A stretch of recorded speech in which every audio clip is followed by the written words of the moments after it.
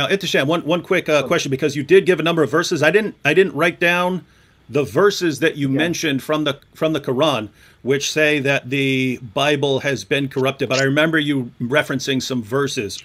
Uh, could you could you kind of uh, give us the ones you think are most are most clear, and then and then Sam can. All right. Uh, the Quran chapter 2 verse 75, Quran chapter 2 uh, verse 9, Quran chapter 3 verse 78, Quran chapter 3 verse 100, 187. Uh, Quran chapter 5, verse 13 to 15 to 14 talks about the corruption of the scriptures of the Jews and Christians as confirmed by Tafsir ibn Kathir. On Quran chapter 6, verse uh, uh, uh 91. And if you want to know why, uh, what the Quran's talking about by the Torah and the Injil, I can, I can get into that if, if you want. All right, Sam, on the issue of what the Quran says about the Bible. Go ahead and go ahead and, and share yes. your thoughts. And if you want, if sure. you want me to pull up any verses for you, I can. Other sure. than that, I'll, I'll probably yeah, stay out of it. Yeah. Notice what he did here. He says that Muhammad confirms the corruption of Scripture, but then he appealed to the Bible to prove that Muhammad is a prophet. Classic uh, case of circular reasoning. Did you guys hear what he said? Yeah. Muhammad confirmed that the Bible is corrupt, and he quoted certain evangelical scholars out of context. He quoted Craig Blomberg out of context, and I'm going to press him on that to quote Blomberg in context. So make sure you have his book ready with the page number so we can read in context what Blomberg actually said. But guys, hear it. This is the beauty of Islamic apologetics. Muhammad confirms the Bible's corrupt, and Muhammad is a prophet because he fulfills biblical criteria for prophethood. So a corrupt Bible confirms that Muhammad is a true prophet, who then confirms that the Bible is corrupt. Masterful.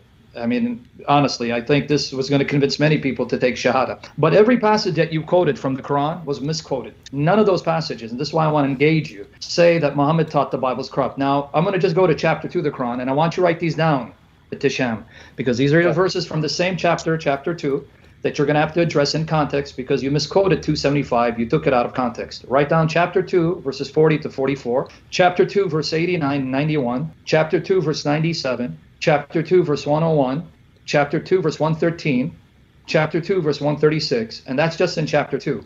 Again, you misquoted chapter 3, verse 78 of the Quran. You wrench it out of context, as well as chapter 3, verse 187. So here I'm going to ask you to write down chapter 3, verses 3 and 4. Write these down because we're going to have to engage these texts.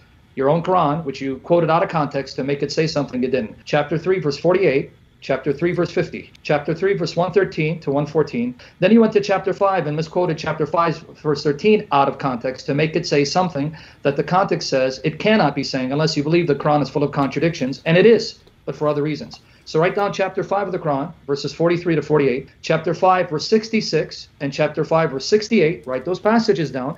And then again, you did it with chapter 6, verse 91. You again quoted it out of context. So again, I'm going to help you read your own Quran in context. Go to chapter 6 of the Quran, verses 114 and 115. 6, 114 and 115. And unlike you, I'd like to engage these texts and read them to see what they say. But for the sake of time, 6 verses 114 and 115, and then add these as brownie points. Chapter 10, verse 37 of the Quran. Chapter 10, verse 94 of the Quran. Chapter 12, verse 111 of the Quran. Add that. Then add chapter 15, verse 9 of the Quran. Cross reference that with chapter 16, verse 43 of the Quran, and chapter 21, verse 7 of the Quran. And then icing on the cake, chapter 46, verse 12, and verse 30 of the Quran. All of which say that one of the proofs that your prophet was a true prophet, it's not that he confirmed the Bible's corrupt. He actually confirmed the Bible is incorruptible, that the scriptures are preserved and authoritative and to be used to judge Muhammad and also to live according to their dictates. So you're wrong. Muhammad did not say the Bible is corrupt. That's your misreading of the Quran, which is why you had to run to Ibn Kathir.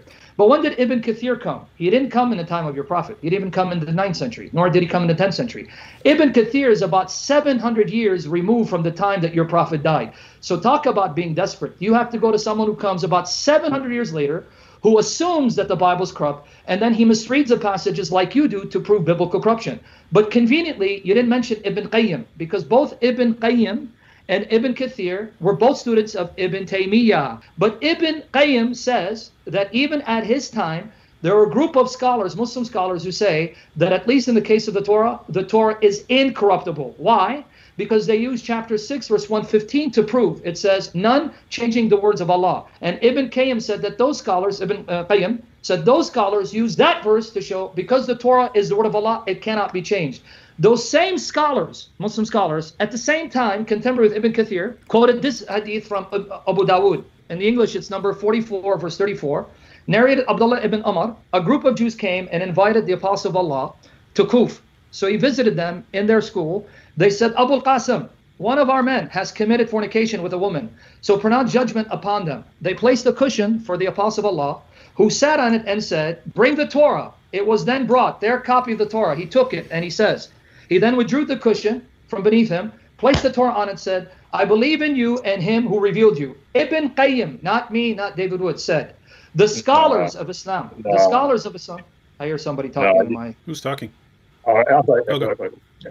Yeah, it's not. Please don't talk over me. I didn't do that with you Ihtisham. All right. Anyway, listen. The scholars of Islam said he would not have said, I believe in the Torah, and in him who revealed it, it was corrupted. So you selectively cite those scholars that agree with you, but then you ignore the scholars who refute you. And the scholars I cite that refute you, they're right because the Quran agrees. The Bible is incorruptible, and it is the standard to judge Muhammad. And you even implicitly agreed. Why? Because you went to the biblical criteria to prove he's a prophet. Why would you if you're not assuming that Muhammad has to live up to the criteria of the biblical revelation, but he fails miserably. Because why does he fail? I'm going to use the very passages you cite against you. You mentioned Deuteronomy 13. You said that a criteria, one of the criteria to prove that someone is a prophet, he must preach the same God. Sorry to burst your bubble. Muhammad did not preach the same God of Deuteronomy, which is why you're not going to say it's corrupt. But when you say it's corrupt, you prove my point. Muhammad is a false prophet, which is why you have to argue biblical corruption. Because in Deuteronomy chapter 14, verse 1, it says that the Israelites are the sons of God. Deuteronomy 14, verse 1. In Deuteronomy chapter 32, verse 6, it says that God is their spiritual father who spiritually begot them. And Deuteronomy 32, 18 to 20 says that he is the rock that gave them birth spiritually, not physically, because God is not a physical being. And they are his sons and daughters who proved perverse. The same Pentateuch, because Deuteronomy is part of the collection called Pentateuch. In Exodus 4, verse 22, it says that Israel is my firstborn. Let my son go to worship me. And if you don't let my firstborn go, go I'll kill your firstborn. God speaking through Moses to Pharaoh. So, according to that very book, the God of Moses is a spiritual father to the Israelites. The Israelites are his sons and daughters that he gave birth spiritually to. But your prophet, your Muhammad, in chapter 5, verse 18 says, the Jews are not the sons of Allah, neither are the Christians. Your prophet, your Muhammad said that no one is a son to Allah. The highest relationship they can have with your God is a slave to master relationship. Chapter 19, verses 88 to 93. So the very Deuteronomy 13 you cited, so you can't now backpedal, condemns Muhammad as a false prophet, as an antichrist. And then you had the audacity to go to John 1. My goodness, you went to John 1 saying another criteria to prove that uh, a prophet is a true prophet. He denies that he's Elijah and he's the, he denies he's the Christ. That is a gross perversion of John 119 to 25. There is no criterion given in John 119 to 25. What it's saying is to John the Baptist, are you the Elijah? No. Are you the Christ? No. Are you the prophet? No. That's all it's saying. But it's ironic you use John 1. Now you're stuck with it Ihtisham. You better not backpedal and tell me it's corrupt. Because that's the same John where John the Baptist says that Jesus Christ is the Lamb of God who takes away the sin of the world, that Jesus Christ is the Son of God who's before me and greater than I, who baptizes with the Holy Spirit, and that Jesus Christ is the Jehovah of Isaiah chapter 40, verse 3, all of which you deny and prophet denied. So, according to John 1, Muhammad is a false prophet and antichrist condemned to the pit of hell, according to John 1. You quoted it. So, I want you to say you agree with John 1 that Jesus Christ is the Lamb of God who takes away the sin of the world, that he's the Son of God who baptizes with the Holy Spirit, and that he's Jehovah of Isaiah chapter 40, verse 3, because that's what John the Baptist says in that very chapter that you quoted out of context. Now, I don't know how much more time I have, David, because I Um, will have a field day with this at a point. Yeah, I, I know you could. Yeah, it's. Uh, I know. eh, Basically, Etisham, Etisham brought up a bunch of points, and I know you would have something to to say on Let's all of these this. points, but I kind of like to uh, probably go through one point at a time. So, uh, All right. Etisham, on that, Muhammad's view of the on this particular issue of Ma- what Muhammad thought about the Bible, what did you? What would your response to Sam be? All right, so let's deal with the whole Torah, the prophet confirming the Torah Mhm. uh, hadith. That hadith is actually a weak because you don't. Uh, No, uh, you're, you're going to a weak source anyways. Abu Dawud does have weak hadith in it. Um, you know, like the whole sun, sun setting in the muddy spring. That's a weak hadith that was accurately classified as Sahih and things like that. And if you want the scholars who say that, it's yeah, give it to me, because I have Al Albani saying it's not weak. So are you making things up? I have it right here. Sunnah.com. Well, let me make my comment. Tisham, let me make my comment. On sunnah.com, it gives the grading. It's not daif. Give me the grading. That's Al Albani's classification. Secondly, are you telling me that Ibn Qayyim, now I want you to answer this, is an ignoramus who is a moron And the scholars he cited were ignoramuses and morons because he said the scholars quoted this hadith from Abu Dawud to prove that the Torah is not corrupt. And are you saying that Ibn Kathir, whom you cited, is another idiot? Because if you go to Tafsir Ibn Kathir, open it up, chapter 5, verse 41, in him, he cites that hadith and he doesn't say it's weak. So now I'm going to call out your bluff. Give me the name of the scholar that says this is da'if, it cannot be used. Ibn Qayyim and the scholars of his day said it's not da'if. Ibn Kathir, open it up. I have it in front of me. You have it with you? Open it up. Chapter 5, verse 41. He cites the hadith and doesn't say it's da'if. So why are you making up the classifications as you go along? Well, I mean, uh, like I said, this whole argument is dead. Like Muslims have already refuted it. But Ibn Hazm, in his book, uh, El Fisil, El Malil, El Walal, El Mahil, volume 1, page 237. I know I butchered the Arabic. But even he says that, uh, you know, it's a fabricated report that reached us with false without a proper chain of transmission. So Ibn Hazm says that hadith is weak anyways. Uh, you know, so even if you want to think it's authentic or whatever, according to Ibn Hajar, whom, you know, I know it's saying it refers to the original Torah that was revealed to Moses. That's not the Old Testament. That's some uh, revealed scripture revealed to Moses. So, you know, so scholars have different interpretations of that. It doesn't mean what you want it to mean. It's not it's not even authentic according to some Muslim scholars, anyways.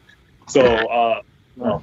You want me to address it now? Uh, I, I just I just wanted to clarify. You, I just wanted to clarify because there there will there are viewers who don't know what you guys are talking about right now. So to be clear, you're talking about the hadith from Sunan Abu Dawud right now, from the, the one that where where yes. Muhammad tells the Jews to bring him a copy of the Torah. Is that, is that the, you're both addressing that one, right?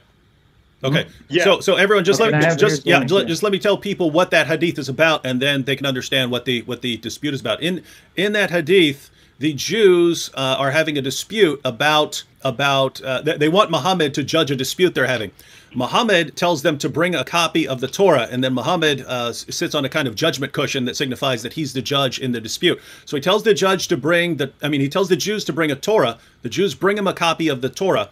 And Muhammad says, I believe in you and in the one who revealed you after putting the uh, the Torah on the judgment cushion. So the suggestion is that the um, that the the Torah is their actual judge, and so uh, the perspective of people who say that uh, that Muhammad affirmed the reliability of the Jewish scriptures is that well, Muhammad said he believes in in the Torah there, and he's talking about a physical copy that existed during the time um, of of the seventh century. And so, and so, the, the, the criticism would be, well, what's he really talking about there? Uh, is he is he just affirming the Torah, or is he affirming the entire Old Testament? And then, in addition to that, is the is that hadith reliable? So, is that a hmm. real situation that Muhammad actually said that in? and that's kind of that's kind of the issue. That's that's kind of the that, that's the issue they're discussing. I just wanted people to understand what, what you guys are talking about right now. Okay, guys, I just gave you the classification. Sunnah.com. It's not run by Christians or Jews. Grade Hassan Al Albani. If you guys don't know who Al Albani is, Muslim scholars, specifically the Salafi, consider him to be one of the greatest not scholars of the 20th century. Sheikh Al Albani. Hassan, that means it's good. It's not daif. Even daif doesn't mean it's not true, because then I'm going to have to talk about the classification. How even Sunni scholars say daif means passing. It's it's pass, but this is Hassan. That's number one. Number two, Ibn Kathir, whom you cited, you cited Ibn Kathir. Open up to his exposition of chapter 5, verse 41. I have him. It's in my articles that you claim was refuted. Far from it. They failed to refute anything. Glory to Jesus Christ. 541, Ibn Kathir cites the same hadith to explain the context of chapter 5, Surah Al Ma'idah, when the Jews came to him for judgment. And he doesn't say it's forged or it's weak. But beyond that, Ibn Qayyim, companion of Ibn Kathir, both of them the student of Ibn Taymiyyah, Ibn Qayyim, Ibn Qayyim says, there are a group of scholars who use that hadith as proof the Torah has not been corrupt. So you're stuck with it. You, Shabir and Bassam, you're stuck with it. It's a nightmare for you guys. I understand. But come on over to the truth and reject Islam and accept Jesus as your Lord and Savior. But let's go beyond that. You just told everyone that it's referring to the original Torah given to Moses. No, the Hadith is talking about the copy of the Torah in the hands of the Jews. He said, Bring me your Torah. But thank you because you just implicitly admit that has to be the Torah of Moses, because if he's confirming it, that means they have accurate copies of the Torah given to Moses. So you just made my point. But finally, and here's my challenge to you, Tisham, open up your Quran Show me a sentence in your Quran where it says the Torah was given to Moses. I'm not asking you to show me where the Quran says a book was given to Moses. Kitab. I know the Quran says a kitab was given to Moses. You said Torah was given to Moses. Quote the verse and show me the Arabic where it says, and the Torah we sent down to Moses. Show me that. And if you can't show me that, where did you get that information from? So that's my challenge. Please, please answer my question. Uh, Quran chapter 3, verse 3. It doesn't say Torah given to Moses. I know the Arabic. It says it confirms the Torah and the gospel. So again, maybe I wasn't clear. I'm trying to help you avoid answering the question directly. Let me repeat it again. Chapter 3, verse 3 to 4 does not say the Torah is given to Moses. It says the Torah and the gospel were given as guidance and light to mankind. I'm going to repeat the question one more time. Show me in the Quran where it says the Torah was given to Moses, like in chapter 5, verse 46, it says the gospel was given to Jesus. See, the Quran is clear. The gospel we gave to Jesus. Show me where it says the Torah we gave to Moses. Don't quote me a verse where it says Torah. I know it's there. Torah given to Moses. Give me the verse. Uh, okay, yeah. So the Quran, um, the Quran chapter two verse seventy, uh, the Quran chapter two verse fifty three says we gave Moses the scripture. So, you know, I mean, uh, so what, like, and then the Quran chapter forty six verse twelve, uh, yeah. So you know, so but uh, regardless, uh, you know, we Muslims don't believe that the Old Testament was revealed to Moses. Uh, you know, like the like the book of Isaiah, Jeremiah, Ezekiel. We don't believe that, anyways. So I, I don't I don't know what your argument is. What's your what's your argument? Okay, notice what you said right now. You just said we don't believe the Old Testament was given to Moses. You believe the Torah was given to Moses, and you just quoted two verses that says a book was given to Moses. How do you know that even though the book of Isaiah is attributed to Isaiah, for argument's sake, because remember what you said. I want you to hold you consistent. The Old Testament, New Testament, they're corrupt. So how do you know that the book of Isaiah wasn't falsely attributed to Isaiah, but it was actually written by Moses? Because the Quran doesn't tell you what was given to Moses. How do you know the Torah was given to Moses? Where'd you get that information? See, if you don't have an answer, I'll show you why I'm asking you the question. Because you said, I want everyone to hear it. We believe the original Torah given to Moses. No, you don't, because the Quran doesn't tell you any original Torah was given to Moses. How do you know it was given to Moses? How do you know what book was given to whom? You're not told the Torah was given to Moses. The only thing you're told in the Quran is that the gospel is given to Jesus and that David wrote Psalms. Let me give you the verses there. Chapter 4, verse 163 of the Quran, and chapter 17, verse 55 says that to David we gave the Psalms, and to Jesus we gave the gospel. So, how do you know who the Torah was given to? It says a book was given to Moses. Well, what's that book? How do you know what book was given to Moses? So, this is what I'm asking. Because when you answer, you're going to show that you're dependent on my Bible to fill out the gaps in your Quran, the very Bible that in one breath you want to use to prove Muhammad, but then condemn it because it exposes Muhammad. So how do you know what was given to Moses? How do I know what was given to Moses? Well, we got to do some reasoning here. We got to know what the Quran's talking about and uh, things like that. So Allah is clearly saying He gave the the Torah or the revelation to Moses, but that revelation is not the Old Testament. So uh, you know, according to tafsirs, according to hadith, and uh, things like that. Again, keep in mind that we have to keep everything in its proper context. We have to keep everything within its proper uh, understanding what the Muslim scholars have understood. And the Muslim scholars have always understood that the Jews and Christians have corrupted their scriptures. Uh, you know, so I mean, uh, if you read Tafsir ibn Kathir, you know, Ibn Abbas, all these, you know, early Muslim scholars don't agree with your view. So, like, so, like, what's your argument here? Okay, like, let me let me respond. Okay, Ittisham, this is now the third time I just said.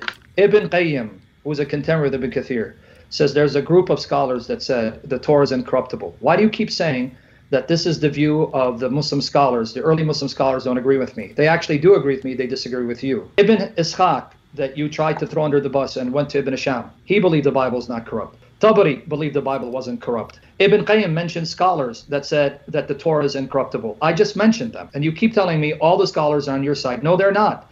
Even Bukhari said the Bible is not corrupt. And I have the citations in front of me. And you know who told me that Bukhari said that the scriptures are incorruptible? Ibn Qayyim. He quotes Bukhari. He even says Ar-Razi. Ar-Razi says that the Torah is incorruptible. So where are you getting that all the scholars, all the commentators agree with you? No, they don't. There were scholars that agreed the Bible is not corrupt, but then as they saw the problem, the Bible as it existed at that time exposes Muhammad as a fraud, then they had to then adopt the approach, well, that means the scriptures were corrupted. No, it means Muhammad is a fraud. Doesn't mean the scriptures are corrupted, especially when the Quran agrees that the scriptures are incorruptible, preserved, and the scriptures of the Jews and Christians were the pure words of God that Muhammad appealed to to verify his claims. So stop saying that the commentators on your side. They're not. In fact, here I'm going to prove it to you. If you have Ibn Kathir, I want you to read for me what Ibn Kathir says about Jesus confirming the Torah between his hands. And here are the references. Please write these down. And if you have the English translation, you don't need to know the Arabic. In chapter 3, verse 50 of the Quran, 48 and 50, what does Ibn Kathir say about Jesus confirming the Torah? Chapter 3, verses 48 and 50. And then what does he say about Jesus confirming the Torah in chapter 5, verse 46? And then what does he say about Jesus confirming the Torah in chapter 61, verse 6? There, Ibn Kathir, in those three passages, actually there are four, but I count chapter 3, is 48 and 50 as one. He says that Jesus confirmed, upheld, lived up to the Torah in his possession. Because in the Arabic, if you read it, it says Jesus confirmed the Torah between his hands. It's musaddiqan, lima baina yadehi. Sadaqa, the verb to mean confirm and bear witness to the truth thereof. Between his hands, baina yadehi. So that's an Arabic idiomatic expression meaning the Torah that he had access to and read. So Ibn Kathir, the one you're quoting, tells me the historical Jesus confirmed the Torah in his possession and didn't say a single word about its being corrupt. Now, Ittisham, I want to challenge you. Give me a single manuscript or any textual proof that the Torah that Jesus confirmed, it is so vastly different from the Torah we read and the Torah the Jews had that Muhammad confirmed. Show me that it's completely different. It isn't virtually the same that I have today. And please, Ittisham, do me a favor don't appeal to variant readings because you know the crisis in Islam now with all the qirat, all the variant readings, and all the corruption to the Quranic manuscript. So please don't go there with the variant readings. Save us the time from having to go into the corruption of the Quran because it's not going to go well. Let's stick with this. Is there any manuscript proof that Jesus confirmed an Old Testament other than what I read today? What's the proof? Notice how like Ibn Abbas says Jesus was taught the Torah in, in the womb, in, the, in his womb he wasn't he wasn't confirming a physical copy according to Ibn Abbas's uh, view. So uh, so like regardless, you know, we follow the Prophet Muhammad. I mean, the, and like we follow like what the Salaf, the first three generations say, and all of them agree with my view that the uh, Torah and the Gospel is corrupt. So I mean, it, even the Prophet Muhammad himself, I just said that hadith that the Prophet Muhammad said that the Jews and Christians have corrupted the scriptures, and the Quran says follow the Prophet Muhammad. So, uh, so why are you going to, okay. you know, why are you going to Jesus when we follow the Prophet Muhammad? Okay, um, um, maybe I wasn't clear. Nothing in what you cited from Ibn Abbas says that Jesus confirmed a Torah that God taught him directly in the womb and not the physical copy. Let me repeat it again. Chapter 3, verses 48 and 50. Specifically, verse 50, and he says, supposedly Jesus saying, because you believe in Jesus, uh, says speaks in the Quran. That's you believe that. You believe that's Jesus speaking. I don't, but since you believe it, in chapter three, verse fifty and sixty-one, verse six, Jesus speaking to the Jews, he says, "I confirm the Torah between my hands." So you're actually seriously wanting us to believe that Jesus was saying, "Hey, I'm confirming some Torah that I memorized in the womb, but not the Torah that you have." You're making mincemeat out of the Quran because the Quran says Jesus confirmed the Torah and said to the Jews, O children of Israel, I'm a messenger sent by your Lord to confirm the Torah between my hands. To the Jews hearing Jesus, they're going to say, Oh, you mean the Torah that we have, right? You're confirming that? Can you show me where in the Quran Jesus says, No, no, no, no, no. I'm not confirming your Torah. I'm confirming the one memorized, taught to me while I was in the womb, but not what you have. You're you're reading too much into Ibn Abbas, and you're reading out of the Quran what the Quran plainly teaches. He was confirming whatever Torah they had that the Jews were reading. And then, moreover, Nowhere did Muhammad say that the scriptures are corrupt. You still didn't give me a verse. You misinterpreted what Muhammad said. And then you said that the first three generations agreed with you. No, they didn't. Wahab bin Munabbih, he is a follower of the of the Sahaba. Wahab bin Munabbih, in the very verse you referred to. Please prove me wrong. I've been challenging you. Open up Ibn Kathir. Go to chapter 3, verse 78. There, Ibn Kathir mentions Wahab bin Munabbih and he says the Torah and the gospel remain the same because Allah's books are uncorruptible. Why would you dare say in front of everyone that the first three generations agreed with you? Wahab bin Munabbih is a tabi. He's a follower of the Sahaba, the follower of Muhammad's companions. And he says, Ittisham, either you're lying or you're, you don't know what you're talking about. Benefit of doubt, you don't know what you're talking about. He says, Torah and the gospel remain as they are because Allah's books are incorruptible. They misinterpret them.